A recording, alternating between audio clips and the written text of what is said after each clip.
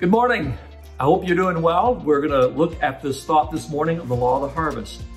The law of the harvest. The law of the harvest says this whatever I sow is what I'm going to reap. Whatever I give is what I'm, I'm going to get back. Let me say it again the law of the harvest. Whatever I sow is what I'm going to reap. Whatever I give is what I'm going to get. Now, here's the truth about this law in your life it works. It's a law, it's not an idea, it's a law. The law says this all of us can benefit from this law. In other words, you don't have to be a rocket scientist, you have to be the best, the baddest, the, the smartest to use this law. Whatever you sow is what you're going to reap. What do you need right now? What is your, your shortage? What is the resources you need today? Whatever that is, you need to plant a seed of whatever that is. I need more love. You got to give some love.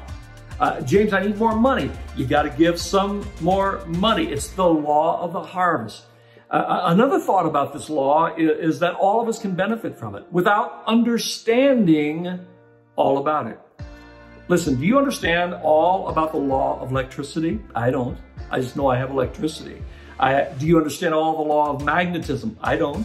Here's what I'm saying. The law of the harvest works whether you fully understand it or not. It's all the way from Genesis to Revelation. It's all throughout nature. Whatever you sow is what you reap. And the last thought is this. Be careful uh, that you're planting good seeds because this law can work against you.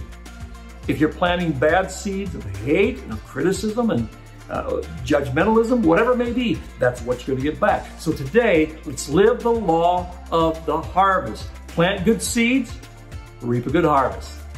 I'll see you tomorrow.